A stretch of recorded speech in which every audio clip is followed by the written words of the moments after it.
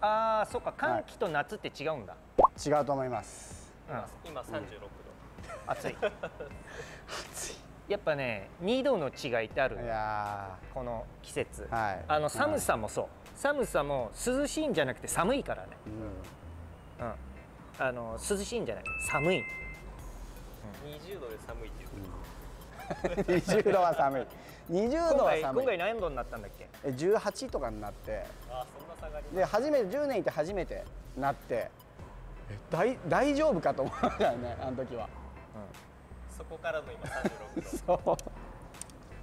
パッと見ると37とかになってるからね、ボストンとかはマイナス10度で0度になった時あったかくて窓開けちゃうって、0度であったかい。うん、あったかくてねもう窓開けちゃうんだ だからねそれだけあの気温に順応するってことですね、はいでは行きましょう。皆さんこんにちは。金子ゆきです。松下です。塚田です。本です。今日はですね、えーインパクト2.0と題してうんまあ今までの概念に対してプラスするですね。チェンジじゃなくてプラスする、ね、スピンの場合下のガット通常こう上から下に当てるっていうのを下のガットを直接当てちゃう。でスライスの場合は反対に上のガットを当てて抑える。抑え込む、まあ、サーブボレーなど、まあ、これらをアドしていくっていう感じですね。で今までもちろん真ん中で当てるっていうのもポジションによって大切になってくるのでもうこれももちろん持っておくこと。当然と始めたての人はまずは真ん中当てられるようにすることも大切です。で今日はですねバックハンド。のではワンハンドいってみましょうか。僕以外皆さんワンハンドですね。はい、あはい。まあ、せっかくの機会なのでバックハンドのシングルハンドで、まあ、実際どういう風な打ち方になるのか当たるところは変わらないんですが今回は行ってみたいと思います。昔はねマンシーニなんかマンシーニの方がいいの俺。知らない？アルゼンチン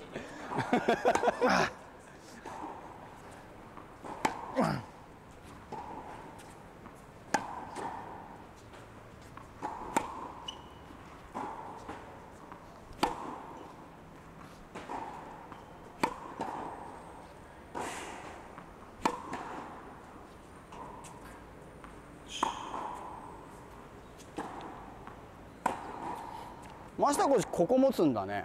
あここここ当たるんですよ。ほう俺ね完全にこっちなの。ならないように。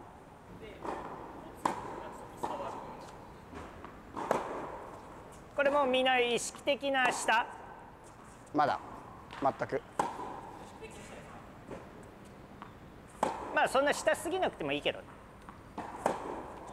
次は意識的な低い球をいきます低い球はやはりボールを上に持ち上げたいのでよりですね下で打てる余裕があったら下で捉えるようにしてください。下側ですね。低い球。はい。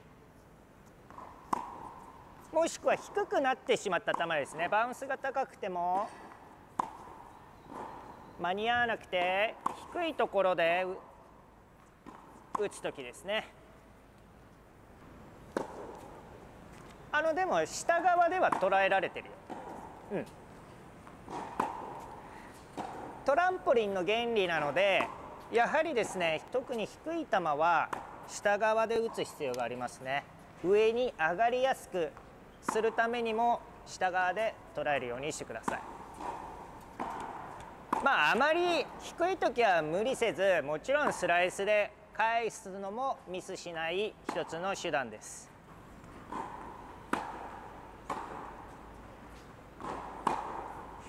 反対に高い球もいってみましょ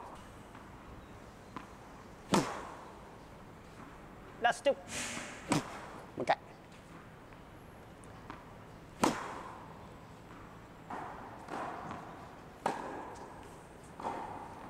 ラスト。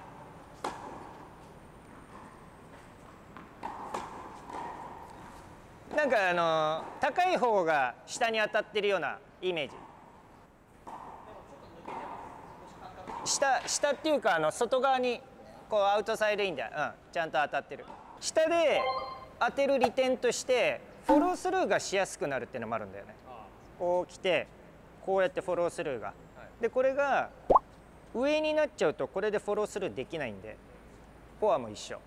だから反対にスライスで言ったら上に当てた方がフォロースルーしやすくなるからだからその今までと違うところで当てる利点がそこにある、まあ、一番の利点は筋肉のこの使う場所が違うっていうのところなんだけど。えっ、ー、となんだっけ？高いボール。はい。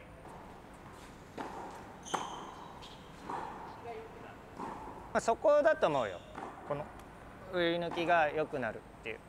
これはあのの開発者の方がそういうふうに言ってたから。まあ実際そうだなって思う。今のシングルハンドのこう特徴としてすごいこう全体的にこう一本に